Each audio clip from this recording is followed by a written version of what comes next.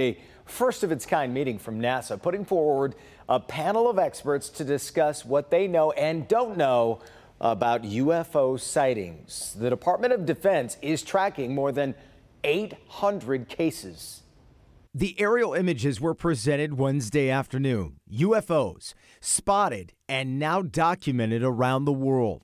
Holding their first ever public meeting, top scientists at NASA, joined by a team from the Department of Defense, revealing pictures and video like this one that captured a metallic spherical orb in the Middle East last year. This is a typical example of the thing that we see most of. Saying the origin of the orbs is unclear, officials at the DoD plan to soon deploy dedicated seniors to better track UFOs, technically known as UAPs, unidentified anomalous phenomena. Current existing data and eyewitness reports alone are insufficient to provide conclusive evidence about the nature and origin of of every UAP event. Confirming 50 to 100 new reports a month, NASA officials say most sightings can be explained, but 2 to 5 percent remain a mystery. There's a real stigma among people reporting events.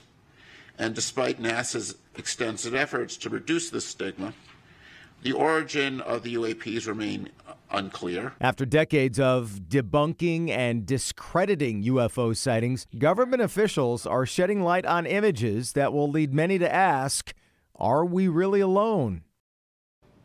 Who knows, right? Well, these preliminary findings, which only include unclassified data, come ahead of a full report expected in July.